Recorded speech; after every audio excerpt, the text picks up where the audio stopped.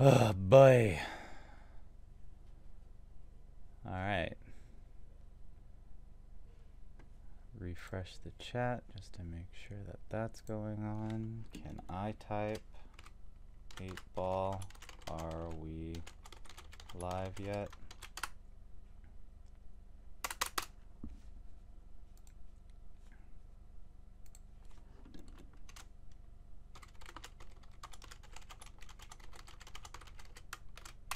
Yes! Haha! and the 8 ball says sure. Alright, cool. Um Alright, no one's no one's in chat yet, but I'm just gonna do this anyway, so Hello and welcome. We are continuing through the monster manual. We are we've last time we did the double A Aarakocra. Today we are doing we are in the AB. So we are now in the Aboleth area. And I'm more excited for this one because the Aboleth is well, once upon a time it looked more like a fish, but nowadays it looks more like just an abstract otherworldly creature, and that's more exciting to me because I can just make abstract shapes with fishtails and tendrils, and I can just say, "That's it. That's the one." so, um, and again with me today is Evenstarr. And hi, hi. Providing more of a professional touch. He is going to be doing the sketchings, and I'm going to be doing um, the modeling and sculpting and stuff. Uh, modeling an aboleth, like thinking like I don't know, fashion model. It's really weird.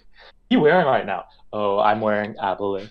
the Eldritch Starks. So, um, while we are waiting for people to potentially come in, even though art is probably the one of the most dead, one of the more dead categories on Twitch. Um, why don't we explain what an aboleth is to the space, and we'll just continue on from there. So, do you want to do the explanation, or should I? Oh, it's crazy. I guess we could take turns with what we know. Aboleth, what I have like read and heard, I think it's a weird ass thing. The fact that it's supposed to be a really powerful psychic creature that lived in the primordial seas of existence before the gods took over. And eventually the gods decided that like, hey, this uh, um, realms are kind of cool. And so they took over and destroyed the Aboleth Empire. Freed is the term that they use, but I don't know. That seems debatable. But freed the creatures that were uh, the slaves that belonged to the Aboleth. Then um, shunted the Aboleths into the deepest, darkest areas of existence, or at least those are the ones that survived. Uh, and what's amazing about the Aboleths uh, kind of, or at least one thing, is that they are almost unkillable, or when they get killed, their consciousness goes to a place that's safe and reforms its body around it, and they have perfect memory. Have perfect memory of how the gods screwed them over. They're just planning revenge, mm-hmm. um, in like the current of things. Tyler, you can add more to it. All right, so um, I'll just fill in the blanks of what I think is interesting that I don't think you quite got. So I'm on D and D Beyond. Hashtag not sponsored. um, Yet. Yeah, so these creatures are categorized as large. So, you know, whenever I hear aboleths and people talk about them and their, you know, and how they were like they were the first and they were the they they they were the enslavers of all you know i always imagine this like like this house-sized creature you know like a thing that could possibly be like kaiju status it's a large creature this thing is the size of a horse and i love that's the the like i don't know the thing that we must have been given in like uh 3.5 when we started, like uh, of like size category things. That's what I always use. Uh, like when I describe horse or like uh, large size things, I'm like think horse size. Yeah, It's big, but at the same time, like you don't see a horse and go ah oh my god. You've got some history. yeah. It seems kind of unfair. Wait. Do they actually categorize a moose in D&D? No, they don't. But I think if they were to, I feel like a moose should be huge, not large. Um anyways, weird tangent. So yeah, so they say that um before the coming of the gods, aboleths lurked in the primordial oceans and underground lakes. They reached out with their minds and seized control of the. God, I hate this word. Burgeoning? Burgeoning?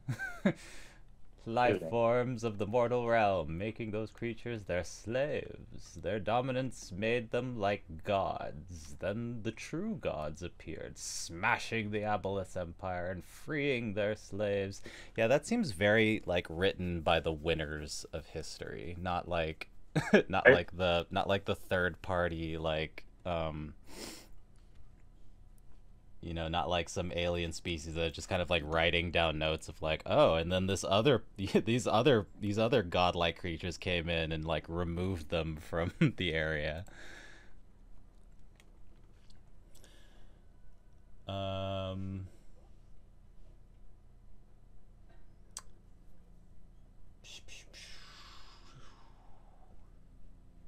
Yeah, they seem to share a lot of um they seem to share a lot of features with other kind of creatures in the D&D like mythos. So like true the aboleths don't tag like um their memories I think pass on to another person. So it's not really so much like they are like the the younger one, like the the newer ones. I don't even know if they really breed. I think they just kind of e- begin to exist. Um, they uh, it's more or less like the the memory the memory of revenge comes in, and so they're like, yeah, that that makes sense. I'm gonna totally like take back the land that was that was ours.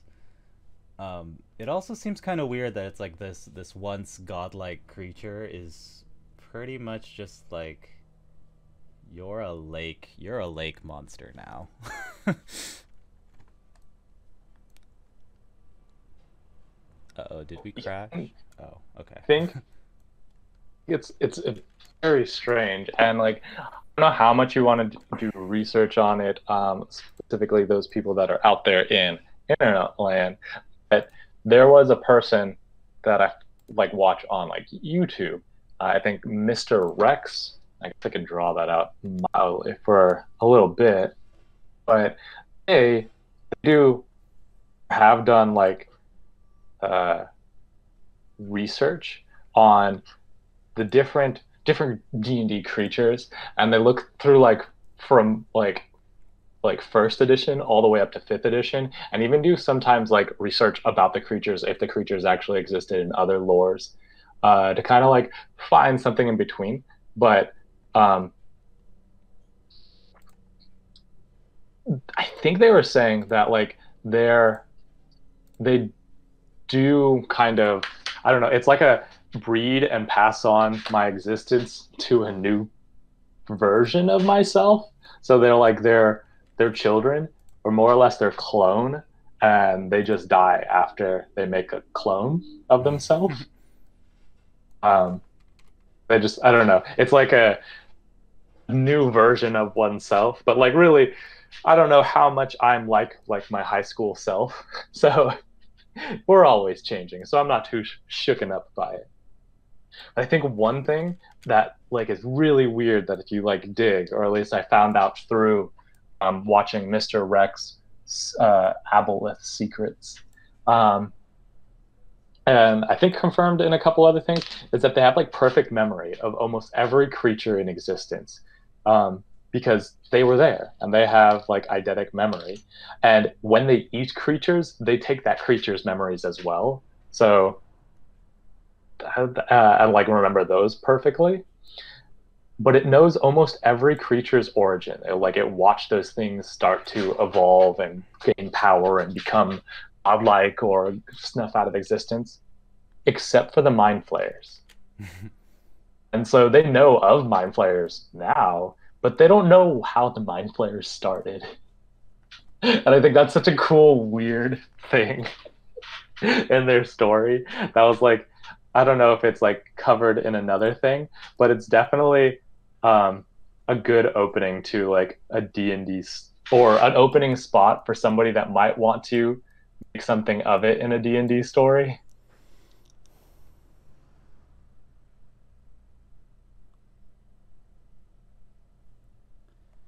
Yeah, all under this I like don't a think I don't. Uh, I really don't want to look that up because that's another that's an that's another hole that I could fall into. But um, cause I don't think mind flayers are really all that old. Like I don't think they're that old of a creature. I think they're relatively new, and so the description that I have is that their memories are flawless in primordial things. So yeah, they were watching they were watching the dwarves and the elves kind of grow up from these like um, you know previous iteration type stuff but the mind flayers were like you know some something else that was kind of a little newer. Or they might have started off as something different and then eventually they became the weirdness that is what they are now. Hmm. I feel like person that I was watching was postulating that it's poss that it was possible that the mind flayers evolved from aboleths, like a distant future, but then travel uh, like enslaved, traveled back in time, and a whole variety of weirdness. oh, i don't know what's Funny. going on Thing. i'm still not all that great with the snake hook tool like i don't fully understand what i'm doing with it I guess i could do it this way and then i can just grab and yeah that's semi better i can make another one up here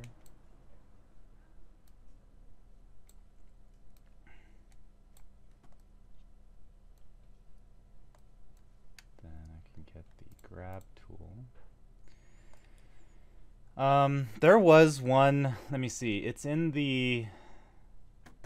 There, there, there is a written attempt to have the hero, the heroes of a campaign, like interact with an aboleth, and it's in the um, Princes of the Apocalypse campaign. But it's just, it's so, it, it's so out of the way that the only way like there's there's two scenarios in which um the DM could ever have the players interact with those things. And that's A if they chose to go to that particular temple like really early on when the characters are like relatively lower level so that they fail the um the enslave feature. Hmm. there's a there's a uh, no the telepathy or something. There's something that so the enslave thing only works within 30 feet. So the aboleth has to kind of like talk to and coax creatures from like a farther distance and just be like, yeah, you know, come a little, you know, come a little closer. I got secrets to tell. And then once it's in within 30 feet, it's like mine. um. So failing, so failing all that interaction could possibly be it. But you know, because the thing is that you're you're walking through this cave, right? And then there's like this brit, this rickety kind of bridge that can hold, you know, a creature, you know, like a relatively large creature. Um, so there's no real danger unless someone like cuts the rope, but then why? um, That's a lot of D and D. Why? Why'd you do it? yeah. Um, Rolled a one. I had to, man. but um what's it the uh the lake is like like a hundred or something feet below this below this um, this bridge, so all you can really get are like these little like telepathic blips every once in a while of like, um, Kid, I have candy. like Kid. you know like I know where you're going or like I know your mom, um, and because it has this thing called probing telepathy, and it's like if a creature communicates tele- uh, telepathically with the aboleth, the aboleth learns the creature's greatest greatest desires. If um, the aboleth can see, oh, uh, that's weird. That's a double, huh? If a creature communicates tele- telepathically with the aboleth, the aboleth learns the creature's greatest desires if the aboleth can see the can see the creature. That's a weird double requisite. um, but anyways, so it's like, sure, but I don't want to like fall 150 feet to do that. So I'm just gonna keep doing what I'm doing. You know, it's like it's easily ignorable. Um, I think you do like given the scenarios of things, I think it would be great to know or to not know that an aboleth is or anything about an aboleth. Like I don't know why anyone trusts talking fish like things. But like if you were told of a great sage of the sea that uh, that knows all things about history, like yeah, you could search that out and like yeah, like make and it. I think that would be a neat thing. Yeah like make it make it a challenge that the that the heroes have to kind of confront you know f- put themselves in the danger of in order to like glean something to help progress their thing like in avatar koh the face stealer right Mm-hmm. like And that would be definitely it, because like he was, uh, he was going to him because Koh is like really ancient and knows all things. yeah Wants your face. Aboleth just wants to tickle you until you become slave. that that concept's been in um in a lot of greek mythology too where it's like you know a, a dude needs to go to this you know to this mythical creature for like information or like a hint as to like where to go next you know or something. And but you know and then his plan is to get that information then leave but that creature doesn't want him to leave. In fact he wants him to stay there forever forever. Those horror stories always kind of get to me a little more than other things where it's just like yeah i don't want i don't want to eat you. I don't want to like i don't want to eat you or i don't want to kill you. I just want to keep you. I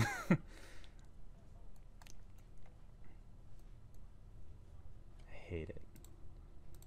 Um but yeah and then the other the other scenario that you that could happen if to have the dm direct the the players toward the aboleth is if he's playing with a group of treasure seekers you know they have to clear out every single visible inch of this dungeon for every little shiny thing you know Ah, so Like- murder hobos. but it's like you know the the thing that the thing about the prince of the apocalypse though is that those dungeons are massive. Like just to clear out one dungeon would probably take like two sessions or maybe even three. Unless the dm likes to just like fast forward a lot of stuff and just be like you you walk into this room and you see a treasure chest. You open it and it's you know this much gold. Cool. Next room? And I think something that is not done very well, um, or and is hard to do, is to get that sense that like you can just live and sleep in dungeons. That this is so massive, and you feel like how how time is progressing, but you also feel safe enough to think that like like you know I, I could could stay here for a while and then like go clear out the next section. If you went to like a I don't know. It would still have to be a lot larger than a mega mall. But if you went to a mega mall, or like, oh, okay, well, we can go to every single place and loot every single. Or, but that's going to take us a while. But you know, if we make a base camp in the store of your choice, that's going to work.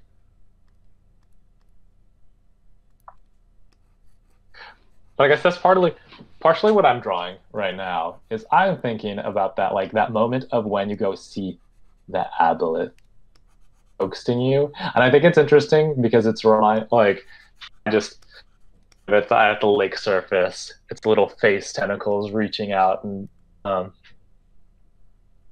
oh, wanting to touch you and to diseasify you, which is a neat concept of the aboleth.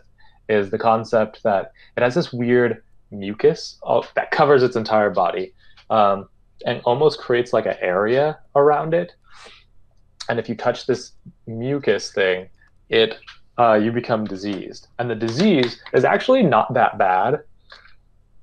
I mean, it, it's terrible, but all it does is it encourages you to be in water. That's about all.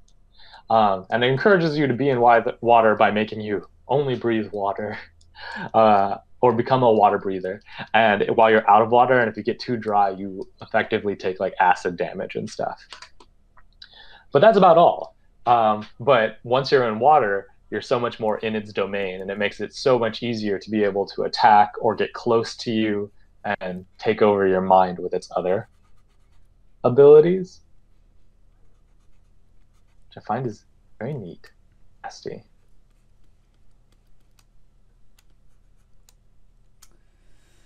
Um, let's see. I think I want this to be fatter.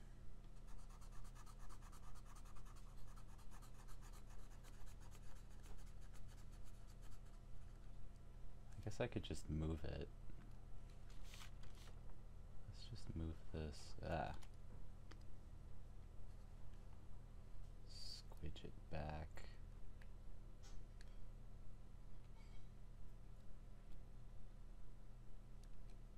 Yeah, something like that.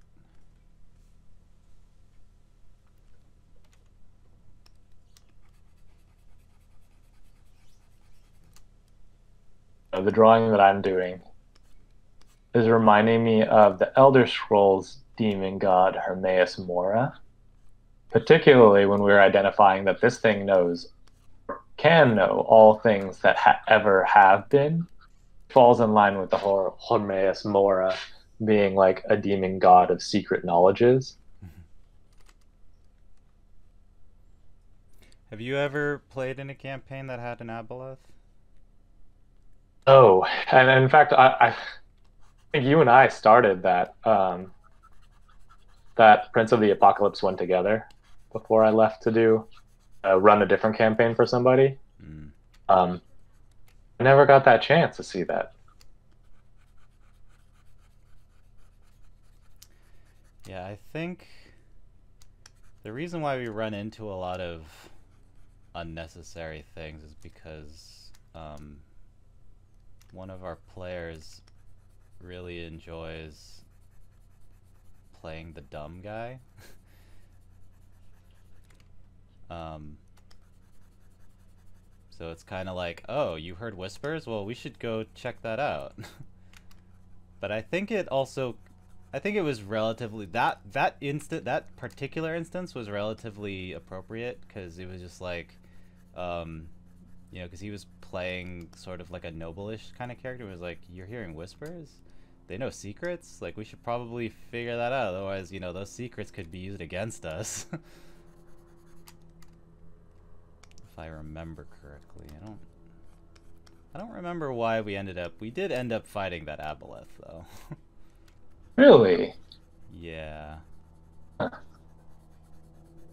Um, kind of jealous. I haven't, like, get stuck in the DM role a lot, and so I don't get to um, get to kind of like uh, what is that? To to fight lo- high leveled creatures. Like I think mostly I get to uh, like uh, be in people's like one shots, and I, I get to experience low level creatures a whole bunch. Like I've got tons of experience with goblins and kobolds. But aboleths, those are that was scary. I think that's an experience that a lot of people need to have more of is how to deal with those smaller creatures. Because that's what I wanted to do. I wanted to. I always wanted to write up a campaign where, um, like the beginning is nothing but kobolds and goblins, and then the middle has like all these like, um, mid-tier monsters like ogres and like other kind of stuff. But then the final tier, the the final chapter doesn't have a, like a bunch of like epic level monsters. It just has like the the kobolds and the goblins make a return but you know the you know you change them so that suddenly they are really epic characters you know they're Mhm. they're an epic challenge but it's it's hard to write a character that's inherently weak to be better to have evolved so that they can fight you know a level 13 cleric or something And that's part of like, which is weird because you, as a player character, and a tanky paladin kobold, if you want to, and level up and get to level 13 and be a formidable thing. But the illusion seems to break down so much more when it's NPCs and stuff.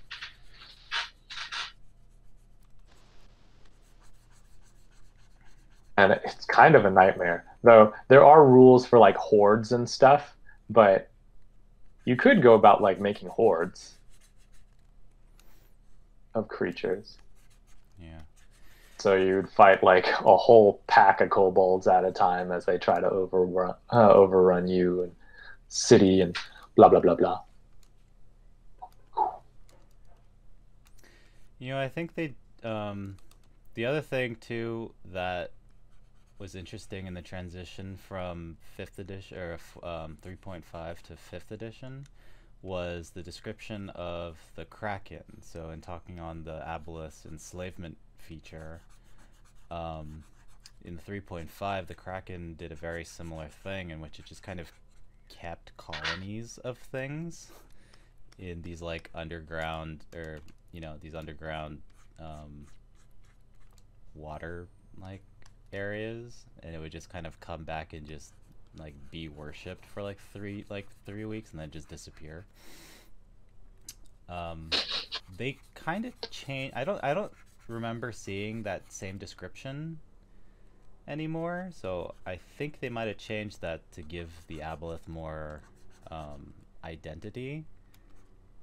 Because in 3.5 there was like very little distinction between what the kraken did and what the aboleth did except the kraken seemed more epic just because it was an actually like gargantuan creature whereas the aboleth was still like a small little tiny creature. It was just like well why is this why is this creature like a like a proto god and the kraken is just a like a beast it's just a mythical beast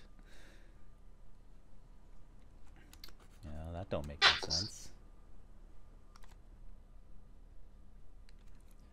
Do i make the mouth now? Even dig dig way deep into your into your art schooling. When you're dealing with clay and you're and you need to make a mouth do you make it like later or do you just like make a hole and you just say that's going to be the mouth eventually I like I like do making the hole first and saying like that's going to be a mouth, uh, and trying to give myself some room for things like to like sculpt over it and uh, add bits of flesh and things, because then it helps me visually uh, think about where other stuff is going to go.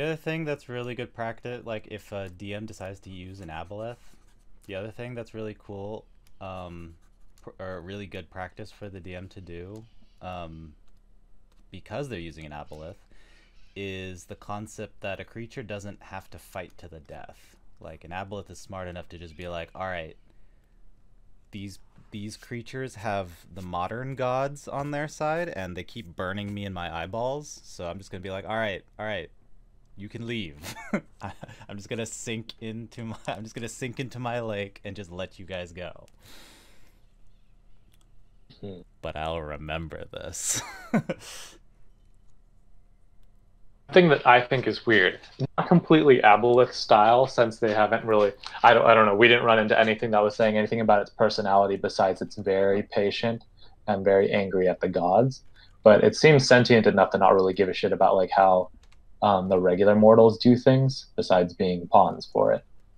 Um, but we were reading about. I was reading up on the Rakshasa, um, this like fiend. It was saying that this thing I was reading a couple fiends that said similar things. That like when you kill one, it just reforms back in hell or whatever hell or abyss that it comes from, and it often will plot its revenge and take out its revenge on like the descendants of the person that like killed it or slighted it. Yep. Uh, which I think is a hilarious thing of like uh, in a lot of I don't know old mythos and stuff.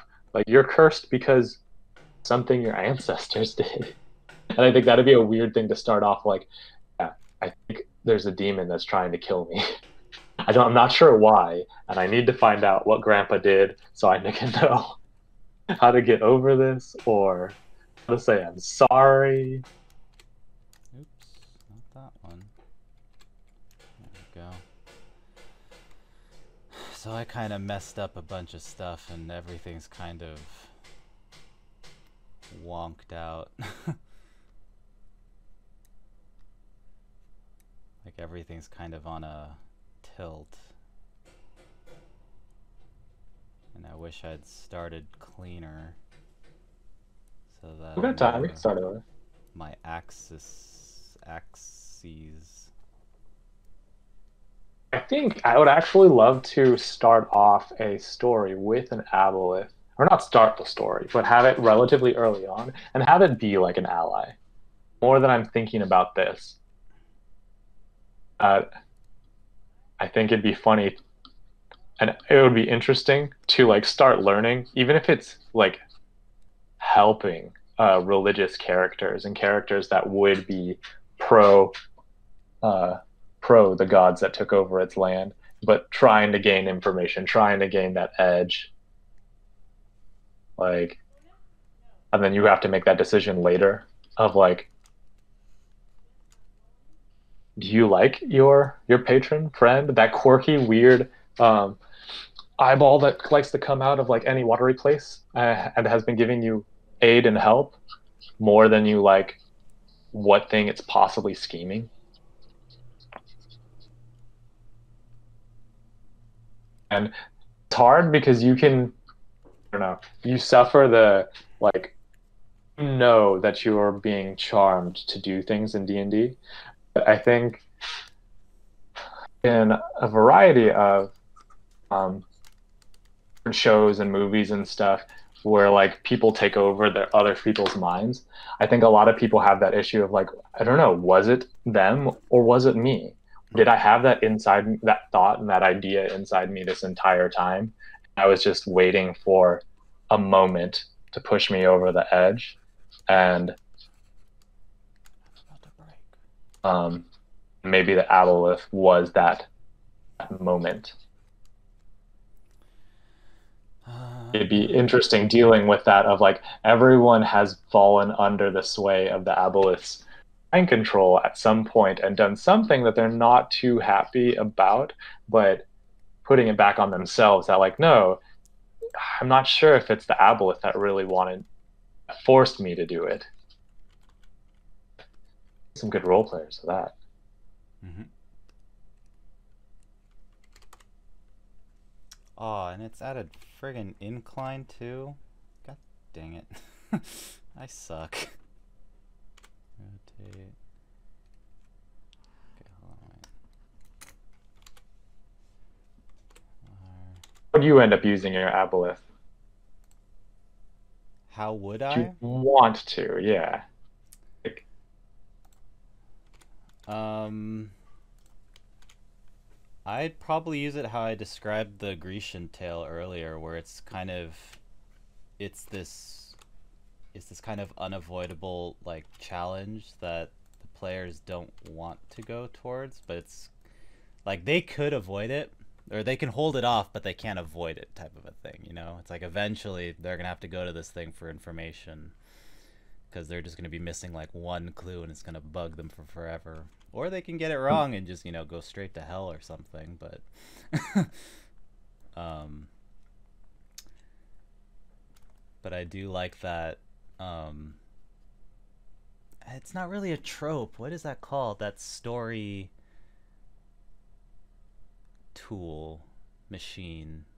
I want to avoid saying gimmick, but you know that mhm. that um just alluding back to the Koh the face stealer thing cuz I don't I don't believe Aang needed to go to him, did he? Not necessarily. Um, but they were in a crunch. They were trying to find out, I think, at that episode, like what happened to like uh gods of the god of the moon. Or does that exist so that they could help fight out fight off the Fire Nation in the Northern Water Tribe? It was happening like right then. That's what it was. Is that what it was? I think it was very much like this is hap- like we're dealing with an issue like war right now, and I need to find a powerful ally.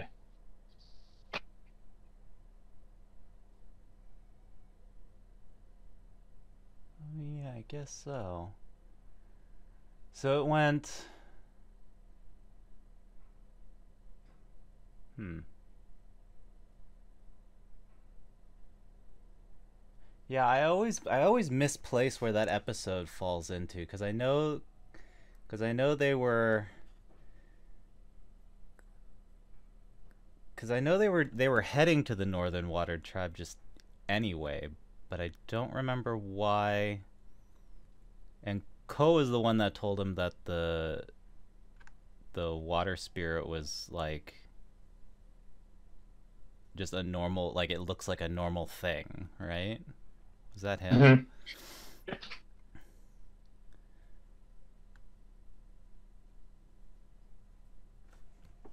Yeah, it was just it was just weird to me because that that scene was weird. I mean, but that's that kind of falls into my the the same thing where it was like it's just kind of weird to me that um they needed that that Aang needed to do that. Like that seemed so very optional because if they were headed toward the Northern Water Tribe anyway, But the, then the thing was that they were at the Northern Water Tribe, and he was the one that told them that like you've seen these these gods before.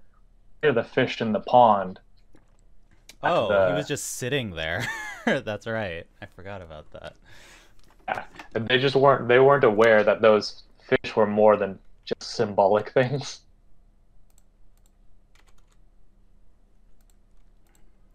That's right.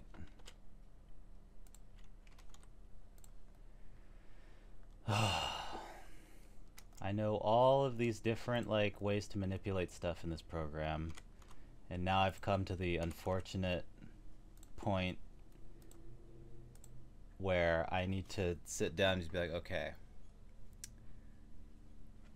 how does an eyelid work?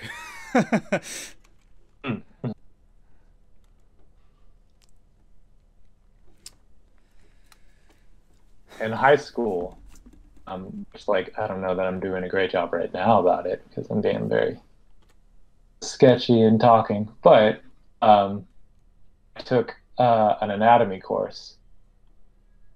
I wanted that that sort of knowledge in my art belt of like, oh yeah, that's how that's what those things do, or this thing can only move this much. And you would usually have a fat layer here, so that's kind of like this.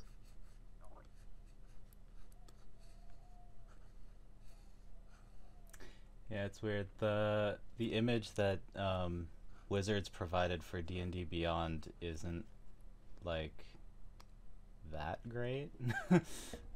Oh, personally, I like the 3.5 Oh, it does get larger. version of the aboleth. The fish. And I want to say is 0.5 and the fourth edition, I think were pretty cool um, versions of it. Fifth edition, like, yeah, I don't know. You're digging on the alien Eldritch horror thing a little bit more than I am, but to me, it's just some noodle thing with like a drill mouth.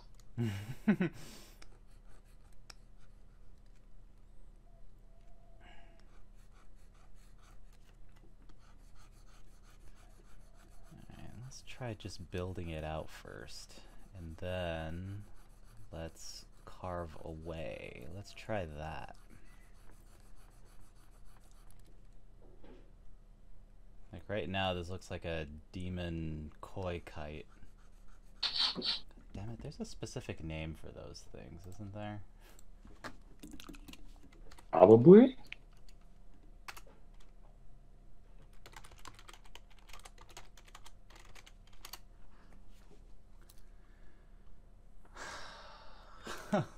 really? Okay. Koi nobori. It means a carp stream. So they're not technically a kite. It's technically considered a streamer. Makes sense. Huh. Interesting. I think the coolest variation of that that I've seen um, that incorporates a a like more recent cultural phenomenon, like back in the day when I first saw it, was the Gyarados version of it. Hmm. I was just like, yes, that's awesome. Because they also had the Magic Magikarp version of it, you know, because it's like, well, that's obvious. But then it's just so cool how it's was so easy. Well, actually, I should reverse that because now that I think about it, the Gyarados was kind of based after the kite, and they were like, well, now we know what its pre-evolution is. Is the, this magic, this koi. is how it goes in my head.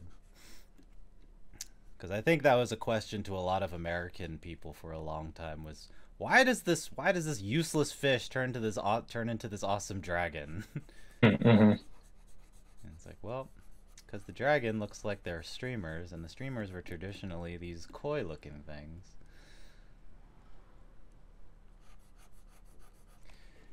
It bugs me how the the image kind of looks like it doesn't have like they don't even bother with like lower eyelids. It's just like the upper eyelid is the lower eyelid and this thing doesn't blink ever. mm. Which I guess it wouldn't need to blink if it's constantly in water. And covered by a layer of its own mucus.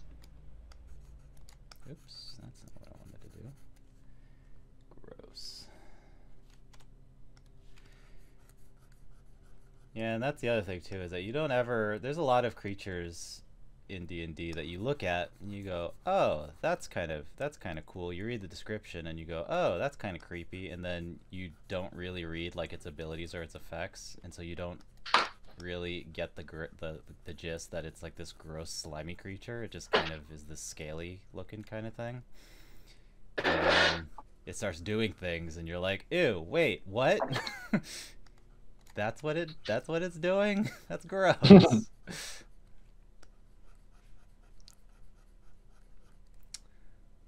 Why? Hmm.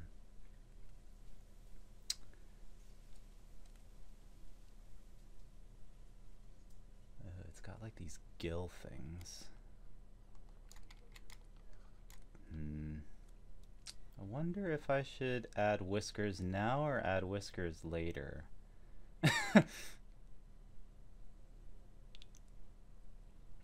wow, my aboleth has a really long body. Let's try remeshing it real quick. See if we can get a little more detail out of my out of my voxels. Ah,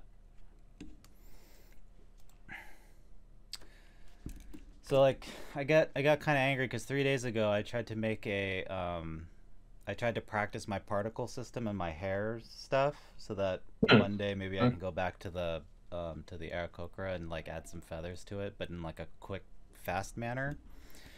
And so one of the ways that I can target where I want hair and where I don't want hair is to go into this whole texture painting thing and like do a heat map and like tell it okay so where it's hot is where I want fur and where it's cold is where I don't want any fur um, but I guess I was doing something wrong or something because um, whenever I would try to like just do something as small as like the nose as like you know cold um, the entire program and my computer would just lock up and just like freeze. I was just like, oh no,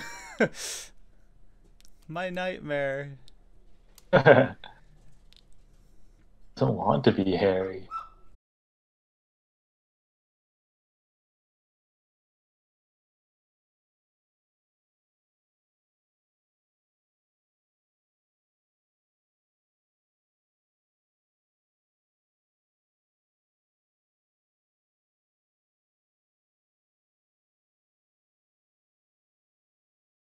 I could definitely seen a couple of designs where the eyes are like instead of stacked on top of each other as like a weird cyclops thing that they've like they have been more like spider orientations.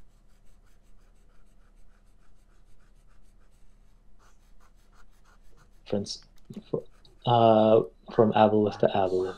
I didn't hit that button. Yeah, because doesn't the fish have more of a spider, like more of a spider thing going on? Uh, I don't think so. Let's see, what were old versions of this?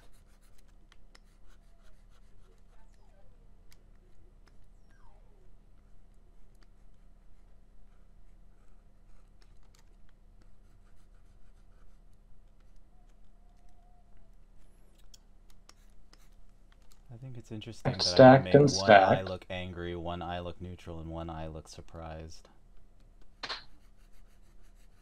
Hmm. That would be way too much detail to put into a relatively minor like character or minor creature.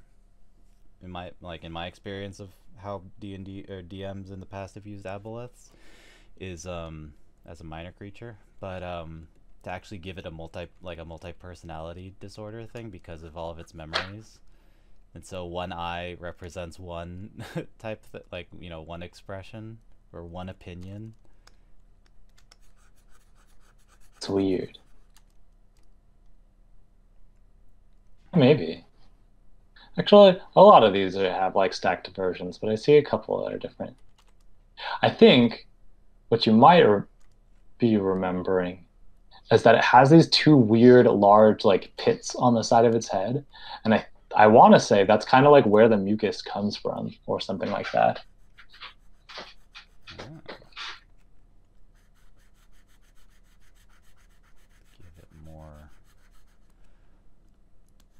You want more cowbell?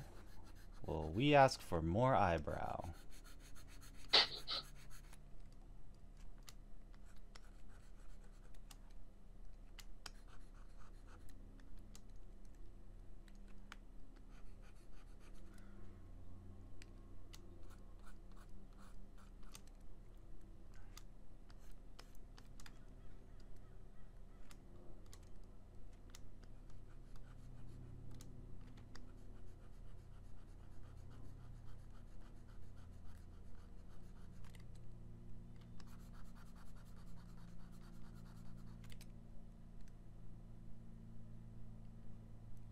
It's better.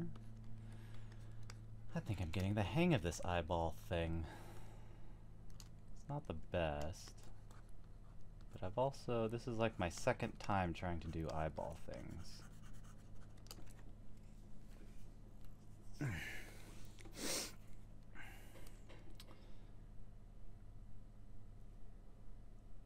So now, let's see if I can try to get fancy with the mouth. Let's try to do some mouth stuff. so I've seen people when they do when they do like um, animal sculpts and stuff, they tend to make the mouth empty and they fill it in with a secondary like with a secondary uh, object. Oh yeah, like teeth. Yeah. Like uh Well, so like the Uh, secondary object is like the gums, and then they put in the teeth as like a third, uh, like a third layer, like a third object. So they're all kind of separated. Um, let's see if I can do something like that. Let's do another UV sphere, I guess. Because I can't look at his like open, creepy mouth anymore. It's like too creepy. Ah, just, looks like a, filter feeder.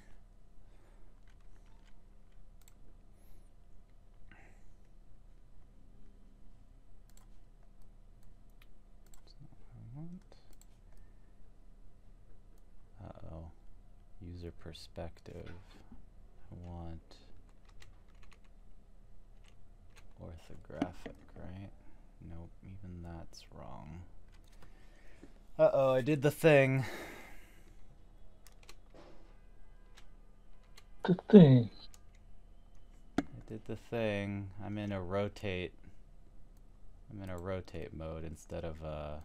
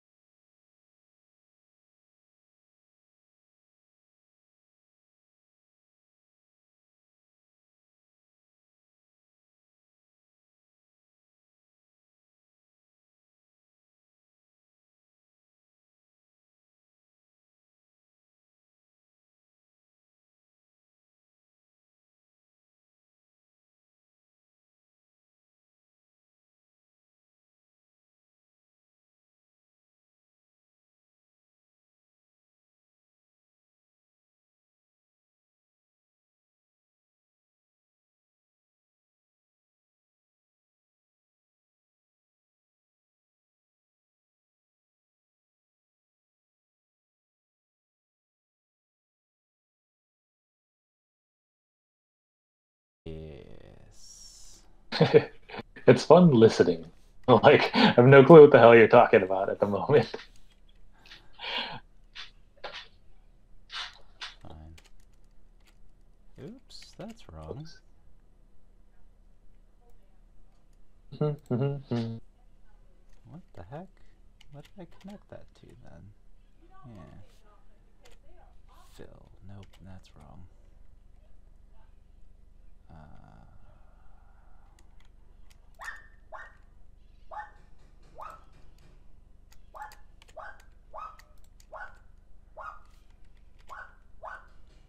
pox upon that squeaky dog.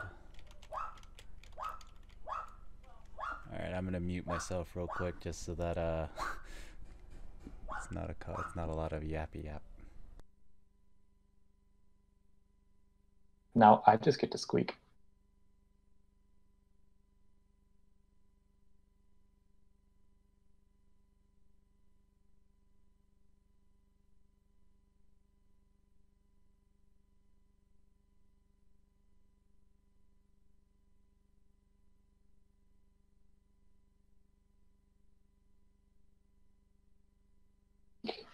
Aboleths are such a weird thing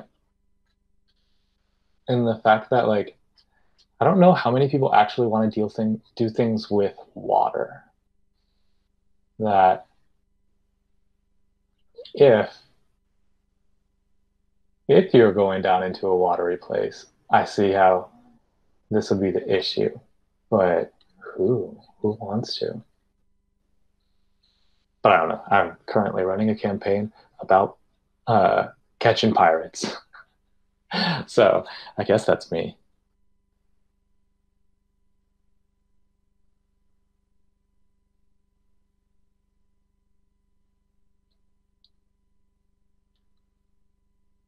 I don't think I want to put an aboleth in that one. Maybe. Maybe somebody, my players are going to get a new friend. Mr. Squishy.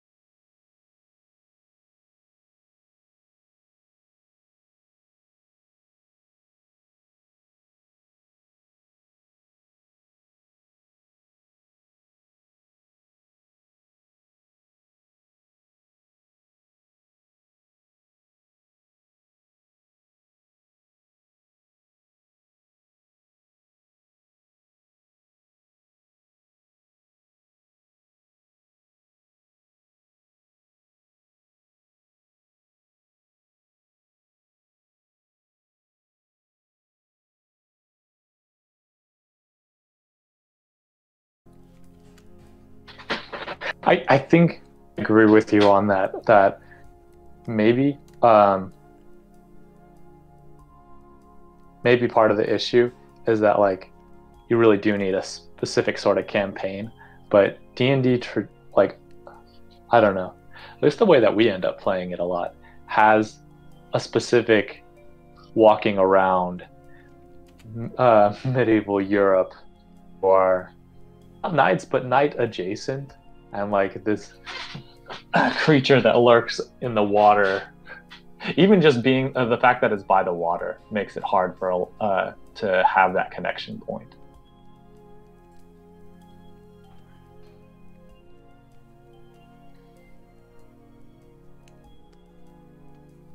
Which shouldn't be too terrible, uh, especially with how often your characters can end up in the Underdark but like aside besides that like that vibe that we talked about of like is the inevitable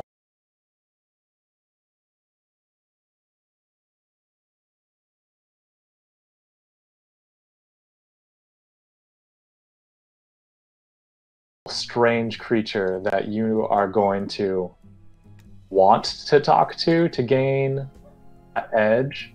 Um, really could have that like mastermind vibe with its mind control powers uh, and charming powers. And that like maybe every issue that you deal with is like this army of other things and things that are actually more powerful than it but it just has a great way of manipulating group to work for it it's hard to like oppose this evil uh, or this like little guy, even if you are like a powerful whatever creature. Mostly because not only do you have to fight it, but you have to fight it underwater with all its goons after you fought in its other goons to even get there.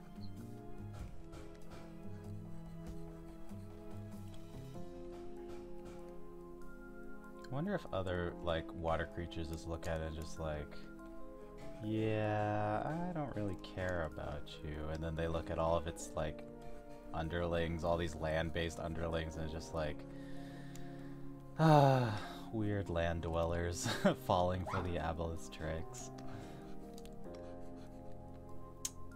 I'm just messing that well, up. it still can like mind control regardless of what are you whatever you are. It'd be weird to find out that like almost all the ocean is under the sway of the aboleth in one way or another. yeah, you thought wrong. They're the Uh, just general, I don't know, corrupt banking system. I think it would. Um, I think unfortunately it would lend itself to like easy. Um, what's it called? Uh, it would kind of discredit the seriousness of your campaign if like that's what you were aiming for. But you could, one storyline you could try to conceive of is um, the Aboleth kind of just being like a regional boss of like an under like an underwater mafia or something, and the Kraken is like the the Don. yeah, so this, this Kraken's got all these aboleths kind of um, going out and just kind of like, you know, creating this um, this underwater network.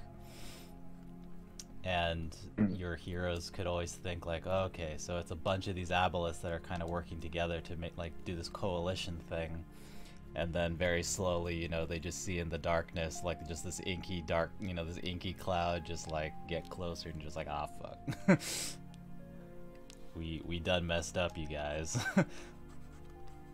all of our detective work was wrong. The clues were there we just didn't see it. Enter the final boss. Dun dun dun. Neat.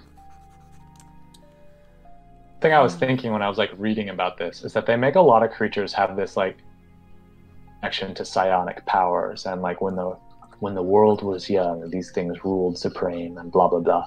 Um, and I've never fully gotten a good um, I guess cosmological understanding of how psionic powers works in the world. But it'd be kind of interesting that even though their psionic powers are still relatively formidable, like maybe psionics in general are not that powerful, um, or as powerful as they could be, like they um, because they're drawing on the raw, not charisma, but like power of like an individual and their ability to manipulate the mind, like the world through their own thought, but not tapping into the arcane uh, arcana or divine like weave of the world.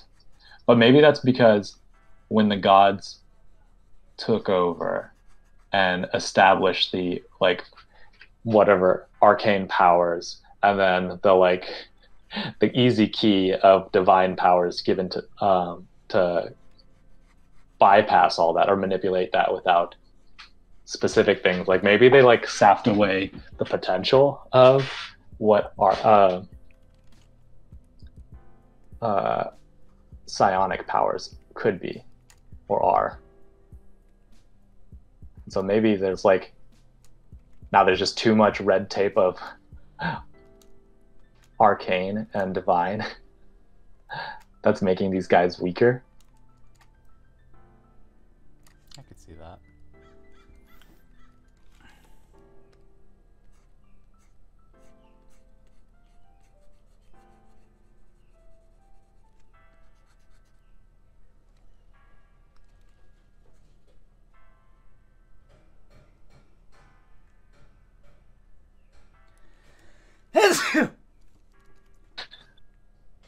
We gotta watch your dramatic ass sneezes. I'm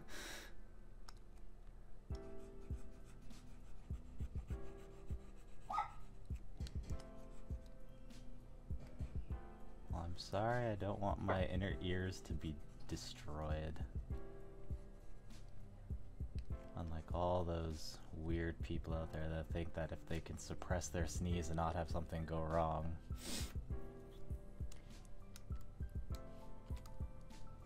I gotta deal with them three years later. Can you hand me the mustard? What? I said, can you hand me the mustard? I,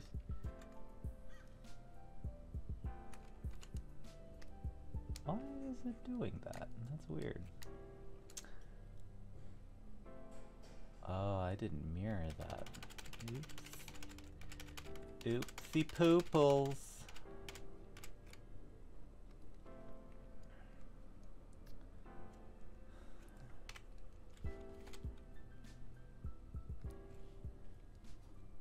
Wonder how long is a is a normal Bob Ross show?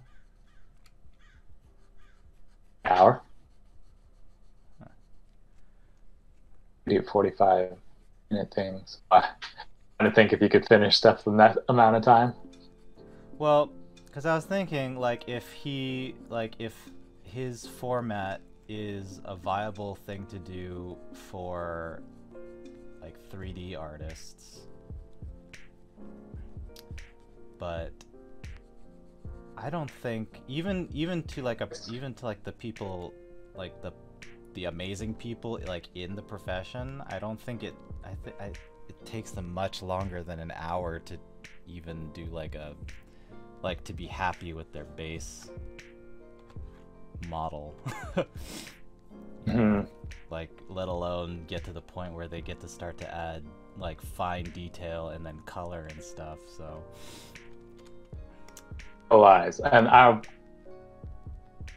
I'm gonna say it.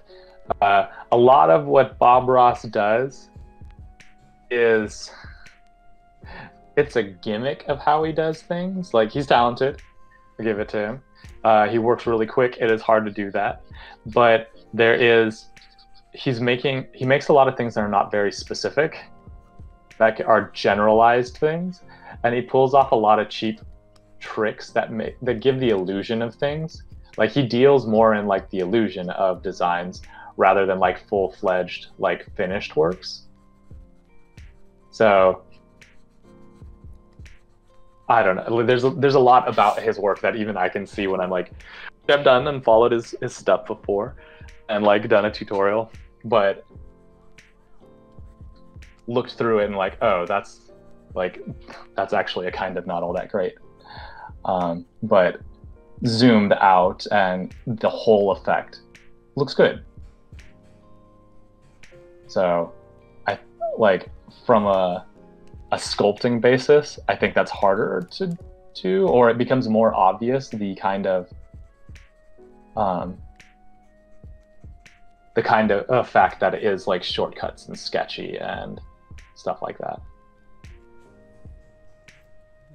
think if I, yeah, because that's one thing that I kind of wanted to try to do, but like it's weird trying to translate one medium, like the way one medium's portrayed, into a different medium. Because it's kind of like trying to do the same techniques. It's like it's like trying to apply high jumping techniques to pole vault. It's like you can kind of do that, but they're very different things. Hmm. so like football to soccer, or yeah, like something like baking stuff to using a microwave.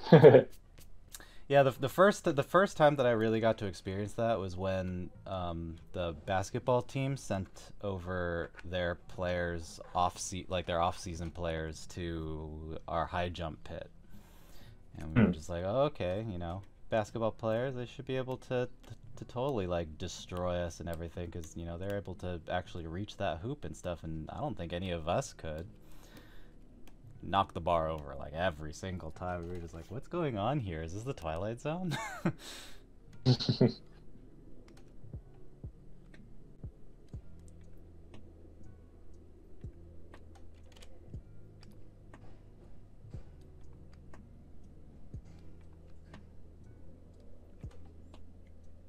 Oh, you know what? I should be targeting not the crease itself, but the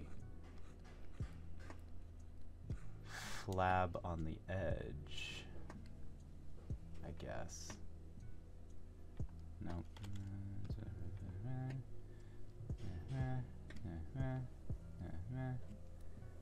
That's not working as well as I thought it would. What's this? Multi-plane scrape. Maybe that's what I need to use. I haven't used this tool yet. What does this do? Oh. Practice.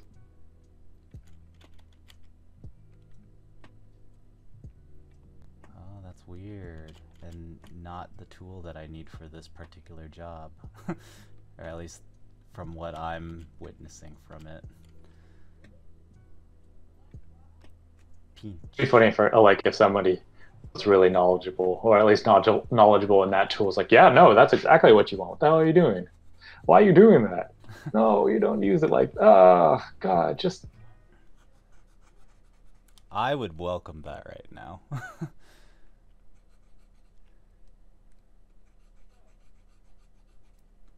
Leonardo da Vinci. Oh, what the heck? Yeah, it's because it's off. It's off kilter, I'm sure. That's weird though. It should have. Hmm. Weird. Um. Okay, so I think that we're we. we're 12 hours into the hour, or we're 12 minutes into the hour. So, um, where you at? How you feeling? You still got some? You still need to finish up some? Still need to finish up some stuff, or? I could still doodle some if you want, but Okay. I was kind of thinking that like maybe something that we should do, um, or that you could we could do, is come at this with like half made stuff, and do like final touches on this. Unless you really enjoy the um, starting from scratch part of it. Um, Like I like sketching. I know I have a lot of little finishing works. I wonder if that would be more amusing. See that it's trying. Yeah, I mean, one of the things, um, that's one of the things that I was hoping eventually is that the more comfortable we get with this, then um, we can try to get closer and closer to more of a finished product. Um, I I mean I I start from scratch just because that's that helps me that helps me force myself to um actually like you know practice all the little things but i can see how unsatisfying it would be to see to see one person just kind of get to a less than halfway point and then just be like all right that's the hour gentlemen so i'll hope to see you next week. Which is like part of that's part of like the whole thing for some people is seeing where th- things start, but I don't know how much. I don't know at this moment. I'm kind of liking this nasty thing that I'm creating, um, but how much I really want to like finish this in particular, I think is a little bit strange. Um, like as much as I love uh, drawing that nasty Aarakocra, I don't think I'm gonna finish that guy.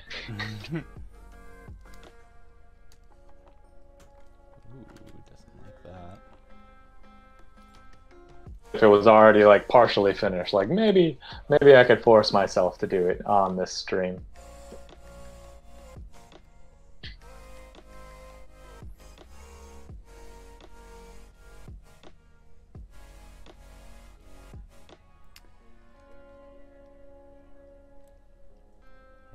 Be more. I always make I always make one small detail at the uh, one small mistake at the beginning, and it kind of like ruins the thing for the rest of the thing, for the rest of the hour that I'm sitting here. like, I kind of started to make this guy off kilter, and so I had to rotate some stuff, and now all my axes are like off. Um, so now my mirror modifiers don't exactly work correctly. Mm. Work as accurately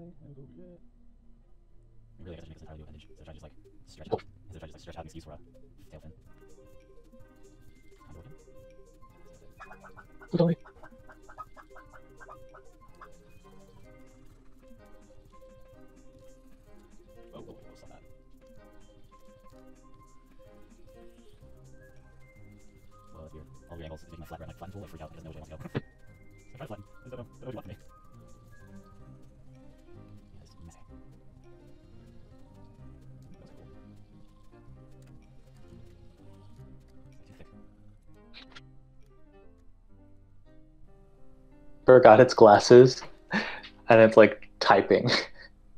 I think that's what my creature looks like. Doesn't know how to quite type right. Like history. of what is this new world gods. with this computer? This is totally probably what they're like. I need here, human, come to the water. What is your typing speed? Mm, I guess that'll do. I'm going to have to eat you so that I can log on to my AOL.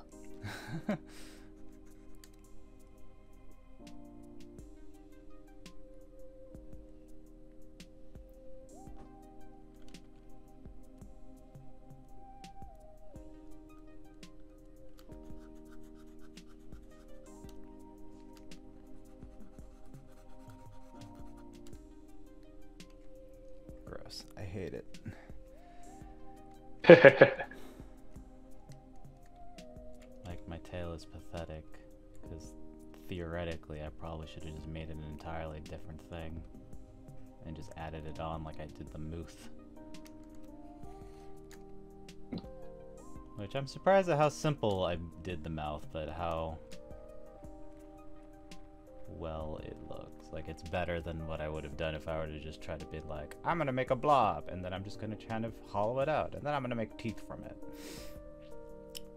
I wish I could do more with the quote unquote gills though. So let's see if I can add just a little more.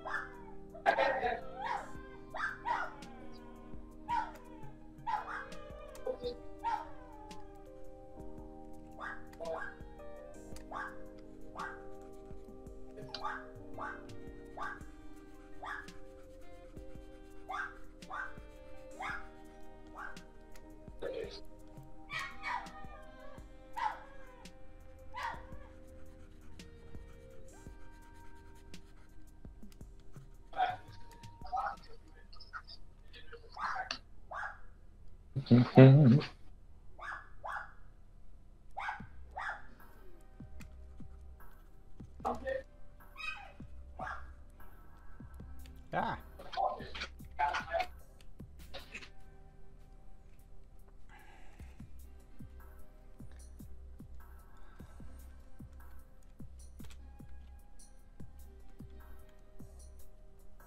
Oh, now I hate it even more that it's larger.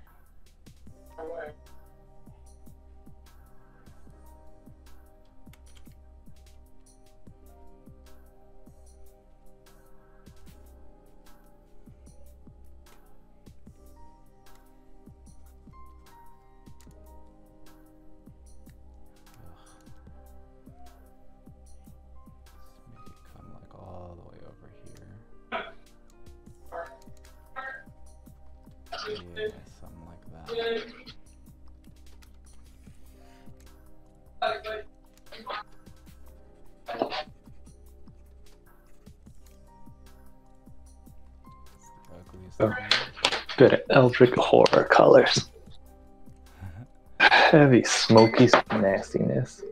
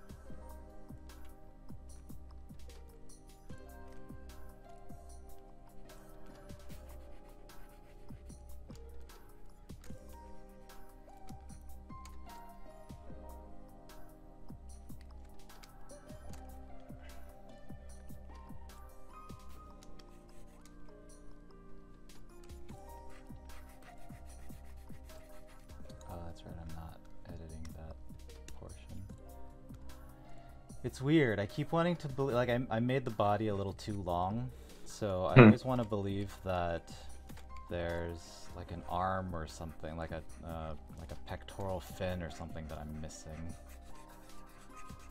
You could add that. Could add that. Oh, gross. That's the x-axis.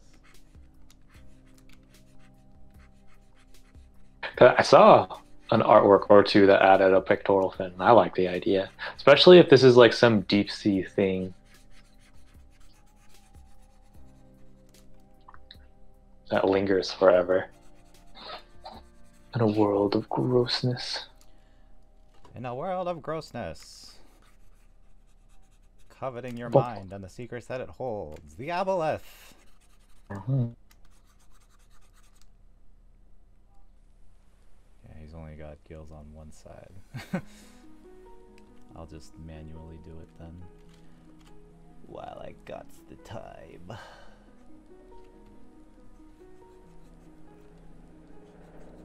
Then, instead of using the crease tool, I can try the pinch tool and see if that's better.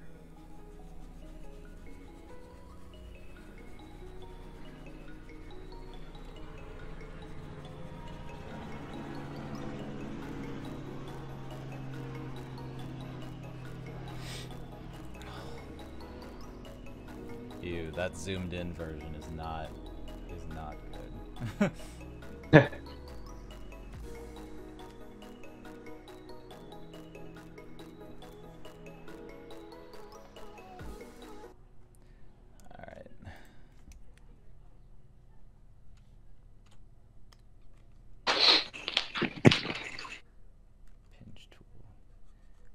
I'm happier with this one. Thinking about my done point. Okay, let me just pinch these gills together. Some gills. See if that makes it any better than the pinch tool or the crease tool. Makes it look a little more interesting. It smooths out things a lot though.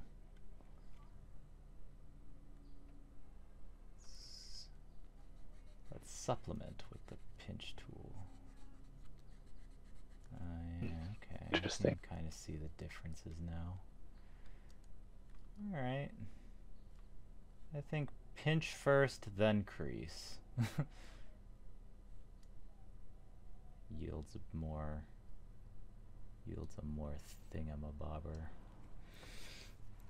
I'm angry because eventually want to be able to zip through all through all the design so I can add bones and make these things move. uh, ow, my hand. Okay.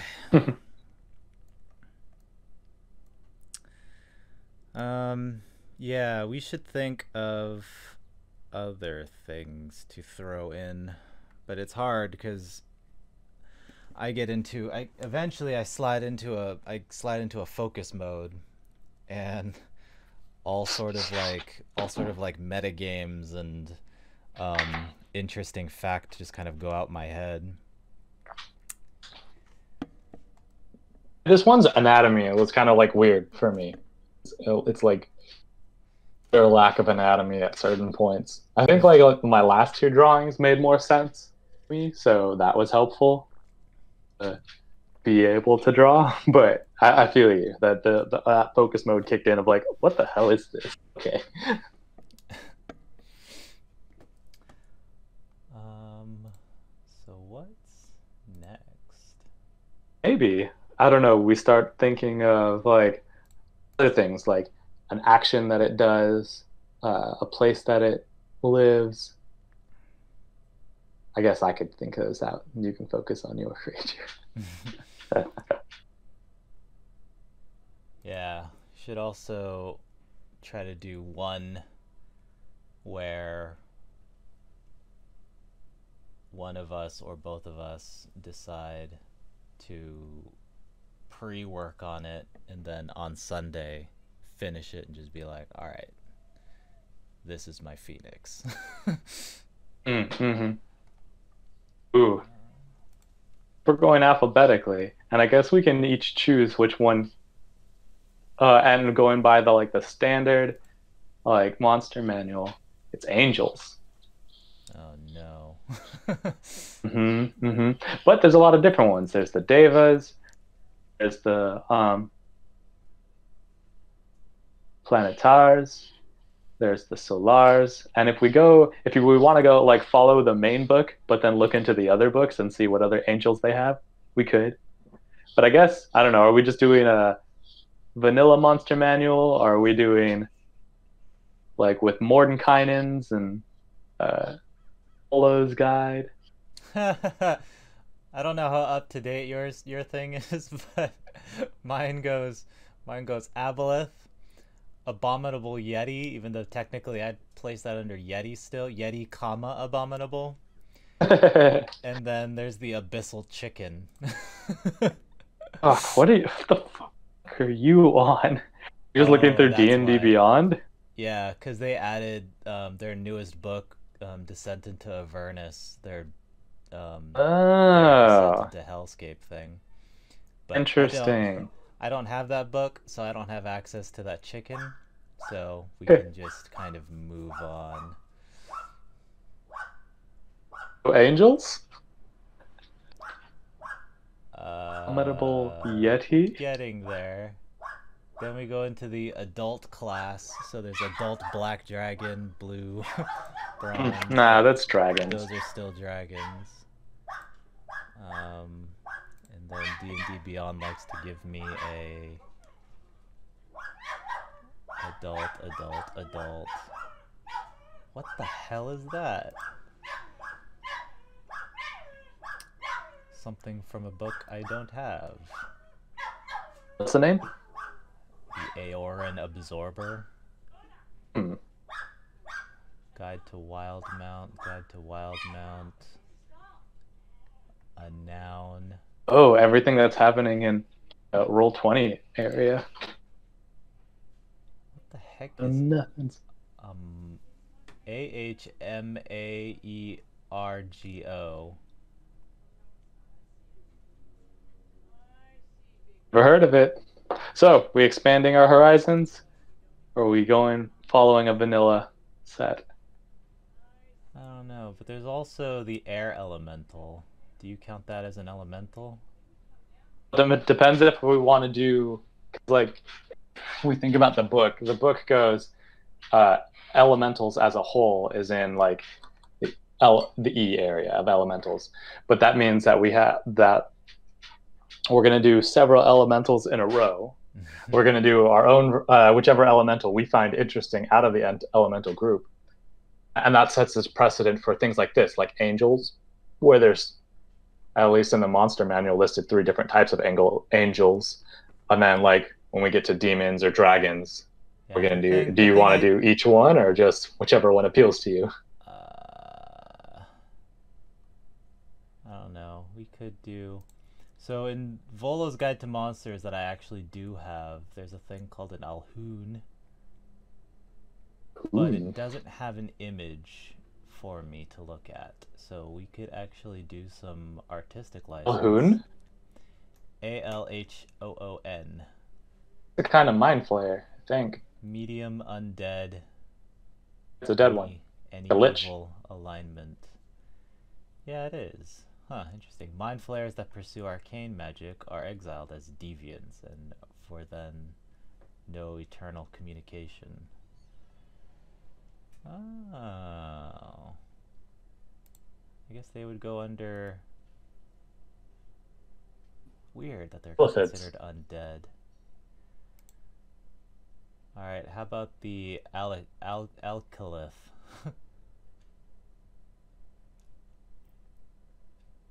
I don't know what that is. Alkal- Oh, oh, it's a, never mind. I know what it is. Like, It's kind of it's just weird- kind of a weird. An alkilith is easily mistaken for some kind of foul fungal growth that appears on doorways, windows, and other portals. oh. These dripping infestations conceal the demonic nature of the alkilith, making what You should could be make a dire different. warning appear strange, but otherwise innocuous. Weird. Could do that. That's kind of easy for me. Well, relatively easy. I just have to make a doorway look interesting, and then I have to make a fungal growth look gross. So, ooh, that gives me practice in my textures.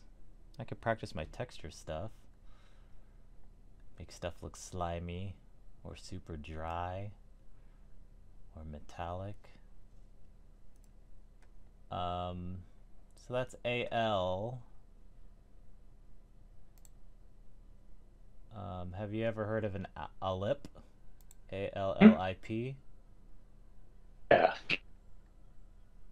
That's kind of something different. I can't remember if that falls into a specific category. When a mind uncovers a- well, uh, medium undead, neutral evil. It looks kind of like a shadow, actually. When a mind Hmm. uncovers a secret that is a powerful being, uh, that a powerful being has protected with a mighty curse, the result is often the emergence of an Allip. Secrets protected in this manner range in scope from a demon lord's true name to the hidden truths of cosmic order. The Allip acquires the secret, but the curse annihilates its body and leaves behind a spectral creature composed of fragments from the victim's psyche and overwhelming psychic energy. So I guess it could technically look like anything.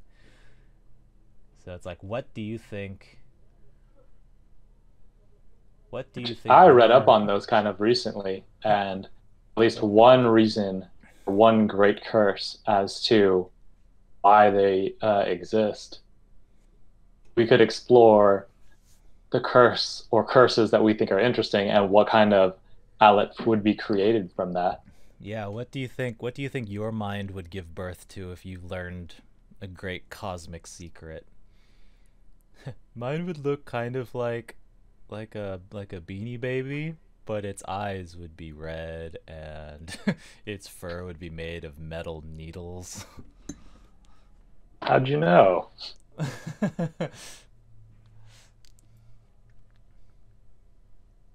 Insidious lore.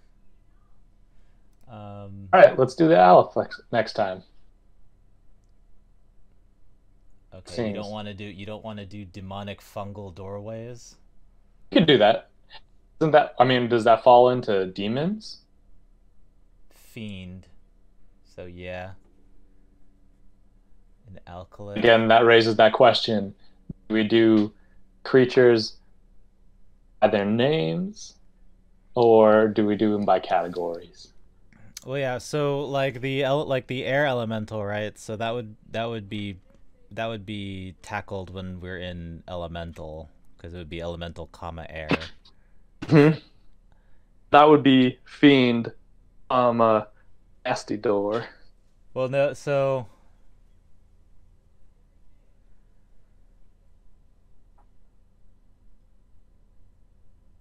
kinda. So like the dwarves, for example, like those are those are humanoid, right? So, but we would do those under the D Okay, then. The alkilith is an A. I don't. I'm curious at how you're going to do something like the elf Elflith or the air elemental. something that doesn't have like big solid structures. Uh, yeah. Probably have to dip into my my physics engines. Could make a dust dust cloud. yeah, how will I do those? All right, so let's do an alkilith next time because that's that's easier for me and i get to prep my mind for what i want to do for a psychic creature for a psychic born creature for the next the next time after that so an alkilith so we're looking for some sort of we're looking for some sort of uh, portal like a doorway or a windowsill and then um, we have to decide what's what's uh, what's a demonic fungal growth in our mind. Sure. And try to do that.